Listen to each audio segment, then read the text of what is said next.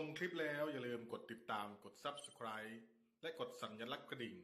เพื่อจะได้ไม่พลาดคลิปใหม่ๆและอย่าลืมกดไลค์กดแชร์ให้กำลังใจกันด้วยนะครับ